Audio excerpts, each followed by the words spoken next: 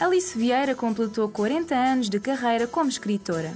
A homenagem foi organizada pelos Retratos Contados e teve lugar na Praça Central do Centro Comercial do Colombo.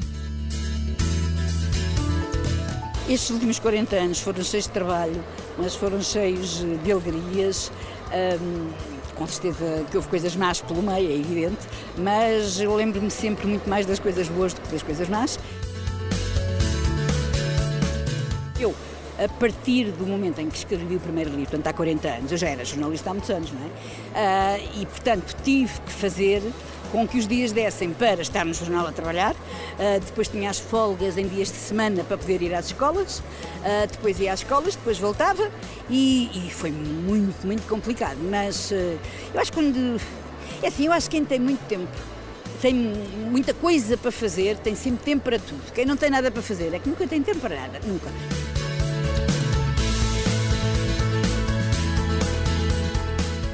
Esta exposição foi planeada, acima de tudo, com muito carinho.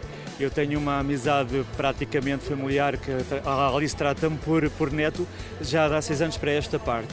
E o que me conquistou foi precisamente a mulher e não a escritora. A escritora conquistou-me mais tarde.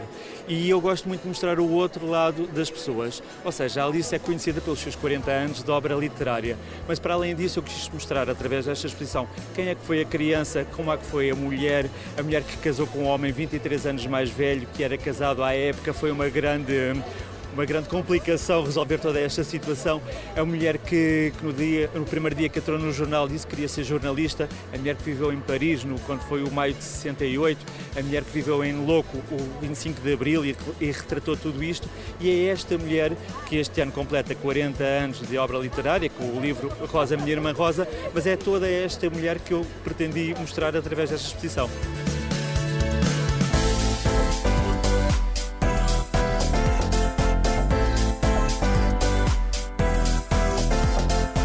Centro Colombo uh, foi desafiado pelo Nelson Mateus a partilhar com o grande público a obra da, da artista. E este tipo de desafios, o Colombo só tem uma posição, é avançar e fazer o seu melhor para que este património seja partilhado com o público de uma forma que proteja a sua dignidade e o seu valor intrínseco.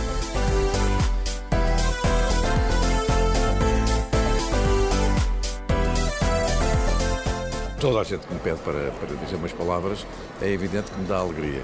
No caso concreto dela, é quase que, hoje é um dia de chuva, é quase que chover no molhado. É dizer aquelas coisas todas que toda a gente sabe que ela é e que ela vale.